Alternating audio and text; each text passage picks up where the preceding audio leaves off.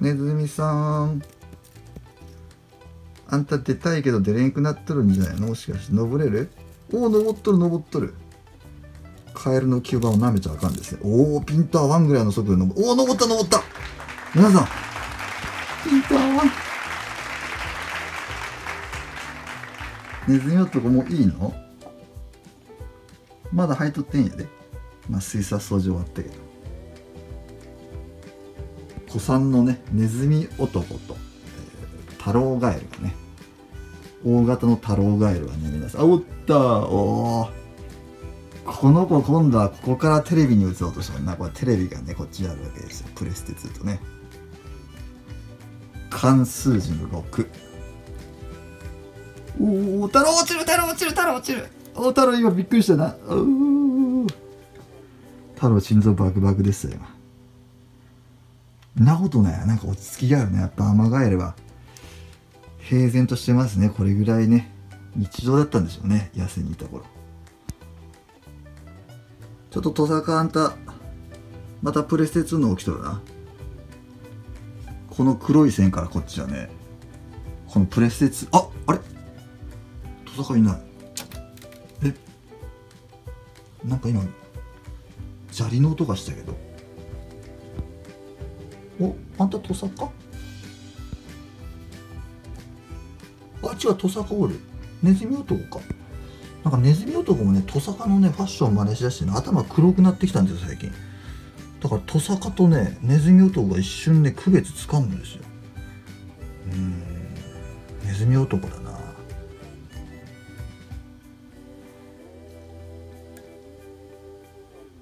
さあ中央広場にね5匹。水槽に2匹。これで87匹ですよね。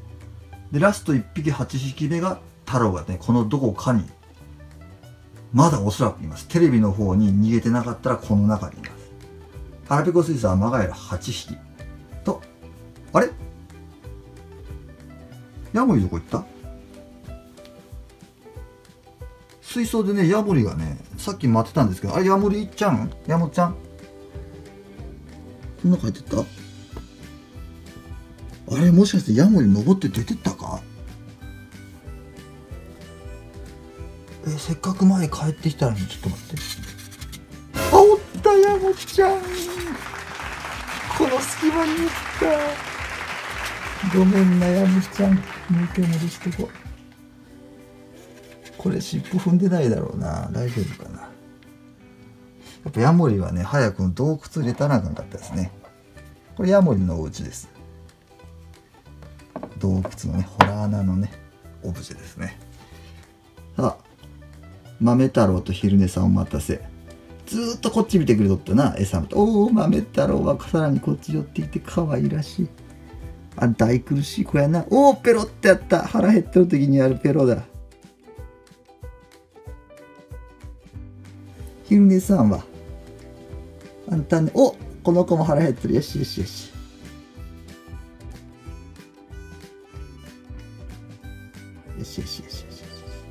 ごめんごめんごめん。ごめん舐めたらよしああごめんごめん カエルは何も触るの嫌なんですよね。向こうからね主体的にね寄ってきた時はいいんですけどこっちからね寄ってく触るのはね嫌がるんですよ。この子たち。ごめんねよし。じゃあちょっと水槽ねセッティングしてね餌やりしていきますね。ちょっと一旦停止しますね。どうした？どうした？どうした？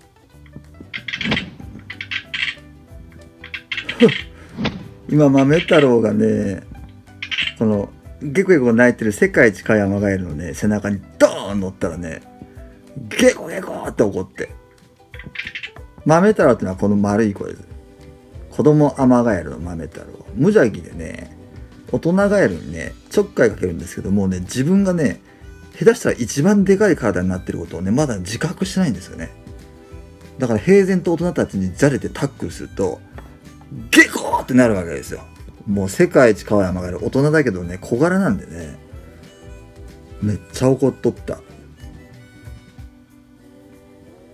さあ皆さん。今からねコオロギおちょっと待って。コオロギ持ってこうと思ったらまだ泣いとる。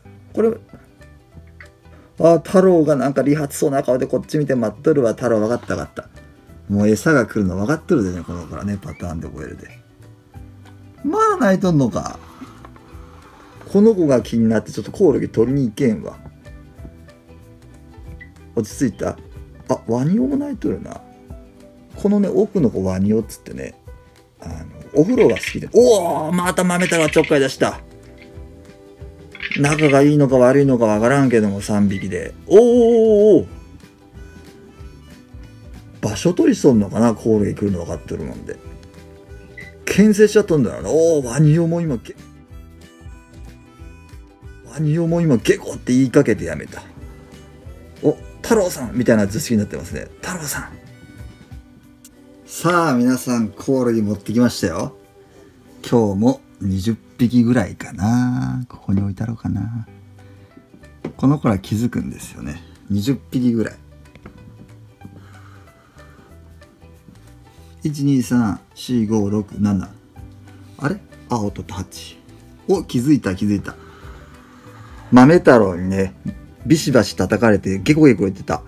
世界一カワイアマガエルがね気づきました。豆太郎と太郎ちゃんを利口すぎてこっち見とるもんで気づいてない。巨大アマガエルのね太郎ちゃんと。子ガエルの豆太郎。あんたら気づいてないのは上の子取るよ。さあこのねシャリがねまた楽しみでね。掃除もね水槽の掃除もね楽しくできるというね。水槽掃除してきれいにしたところで。シャリができるっていうね。動物はねあのどんな動きをするか分かんないのが面白さですよね。この前前回の動画見ていただいた方ねご存知かもしれませんけどね。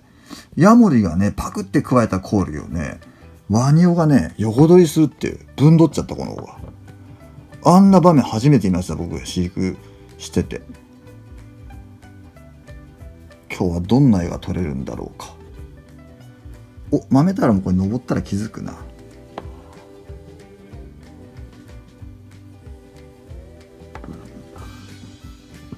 ベロってやってるな。よしよしよしよし。角度を聞きましょう。今日この角度で撮りましょうか皆さん。